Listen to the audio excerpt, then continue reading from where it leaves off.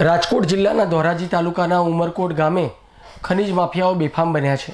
ઉમરકોટ ગામ પાસે આવેલ રાહરનું તળાવ આવેલ છે. તેમાં મોરમની ખનીજ ચોરી કરવામાં આવે છે. આ ખનીજ ચોરી રોકવા માટે ઉમરકોટ ગામના લોકોએ વારંવાર રજૂઆત કરી છે.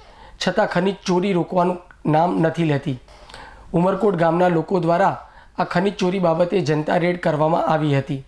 આ જનતા રેડથી ખનીજ માફિયાઓ તેમજ મશીનરી મૂકીને રફુ ચક્કર થયા હતા. ખનીજ માફિયાઓ છ ડમ્પર અને એક હિતાચી મશીન મૂકીને ફરાર થયા હતા. અહીંયા રાહલનું તળાવ આવેલ છે.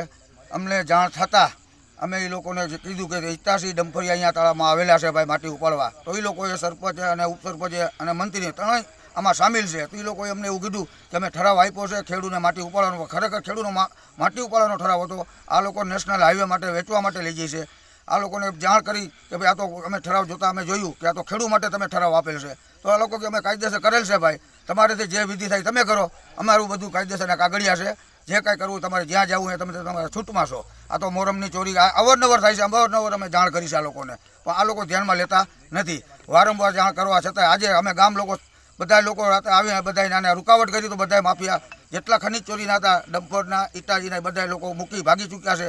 સરપંચને, ઉપસરપંચને બોલાવી છે એ લોકો પણ અહીંયા આવતા નથી. બધા રફુચક્કર થઈ ગયા છે.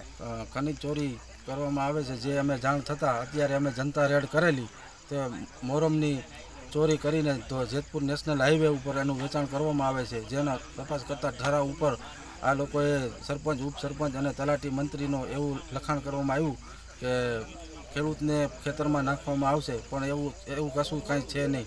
જે જાણ કરતાં આ લોકોનું વેચાણ કરવામાં આવે છે, એવું જાણવા અમને મળેલ છે, તો છ ડમ્ફર અને એક ઇટાસી મશીન મૂકીને જે ખનિજ માફિયાઓ છે તે રફુ ચક્કર થઈ ગયા છે.